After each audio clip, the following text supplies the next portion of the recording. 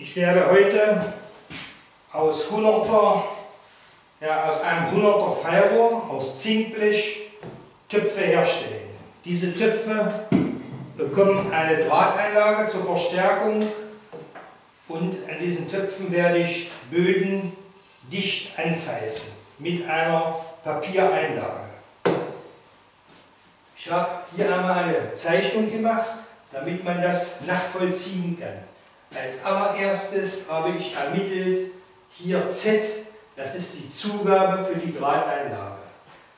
Zugabe für die Drahteinlage habe ich ermittelt, indem ich 2,5 mal Drahtdurchmesser, das habe ich hier gezeichnet, das ist klein d, ist gleich Z meine Zugabe. Jetzt benötige ich die Drahtlänge.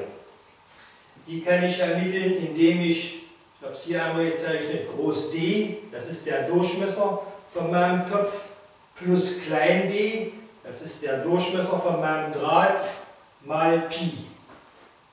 Jetzt kann ich mit dem Arbeiten beginnen. Ich habe hier mir meinen Topf zugeschnitten, die Länge, und habe dann die Zugabe. Das Material habe ich geschweift und habe das so aufgestellt. Und danach die gerundeten, den gerundeten Draht hier drunter gelegt und das Material hier rumgezogen und habe somit diese Drahteinlage hergestellt. Hier sieht man, hier habe ich das Material schon komplett rumgezogen und hier werde ich das noch, ja, das Material werde ich noch rumziehen, das ist nur zur Anschauung. Hier sieht man an dem, diesem Topf, hier habe ich schon das Material komplett geschlossen und somit dem Topf Stabilität gegeben. Jetzt möchte ich zum, zum Boden kommen. Ich habe es hier einmal gezeichnet. Ich möchte 7 mm Falz haben. Das heißt, ich habe an meinem Topf 7 mm Material geschweift, rechtwinklig, so, habe dann diesen Topf auf ein Stück Blech aufgesetzt und, an, und konnte somit den Boden anzeichnen. Jetzt habe ich den Boden gebockelt, diese Kante aufgestellt. Das sieht man hier, das ist die Wand vom Behälter, das ist mein Boden und das ist das Dichtungsmaterial. Ich habe den Boden, den gebürtelten Boden, dann lege ich das Dichtungsmaterial ein, mein Papier und setze jetzt meinen Topf hier rein. So.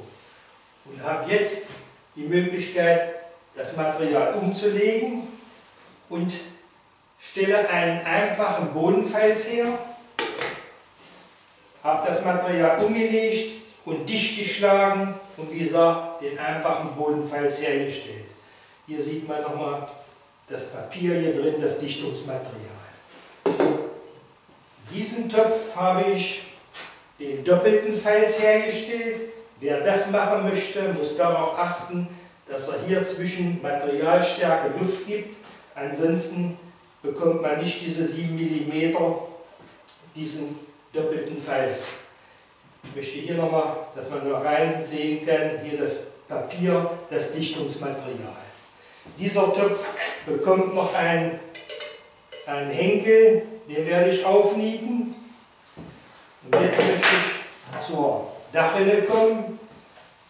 Diesen Ringboden an der Dachrinne, das habe ich genauso gehandhabt wie hier gezeichnet. Ich habe einen einfachen Bodenfalz hergestellt. Also ich habe die Dachrinne geschweift, aufgesetzt, Boden angezeichnet, den Boden gebürtelt. Danach Dichtungsmaterial reingelegt, das Material, wie gesagt, umgelegt und dicht geschlagen.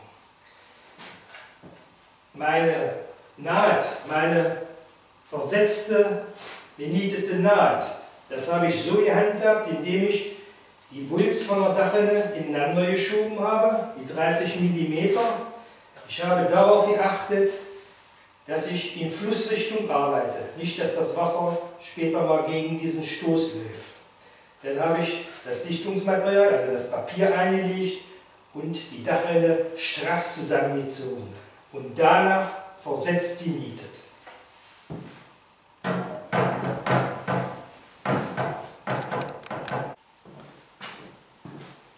Ich könnte diese Kante schweifen, indem ich mit dem Schweifhammer auf einem winkligen Stahl das Material so getrieben habe, wie ich es haben möchte. Ich habe an meinem Boden die Bürdelkante hergestellt, indem ich mit dem Holzhammer über mein Bürdeleisen das Material getrieben habe.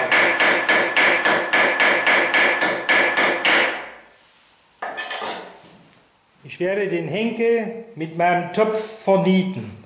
Ich habe gebohrt, habe mein Niet durchgesteckt und gehe jetzt mit dem Nietzieher drauf, damit sich das Material anlegt. Danach werde ich den Niet so weit kürzen, wie ich ihn haben möchte und danach vernieten. So habe ich es mit der Dachrinne auch gehandhabt. Ich werde den Nietkopf so formen, wie ich ihn haben möchte. Ich habe in meinen Topf Wasser eingefüllt, denn ich habe von Dichtschlagen gesprochen. Ich habe auch in die Dachrinne Wasser eingefüllt. Möchte dazu noch sagen, am besten eignet sich Dichtungsmaterial, wenn man Löschpapier oder wenn man Ölpapier einlegt.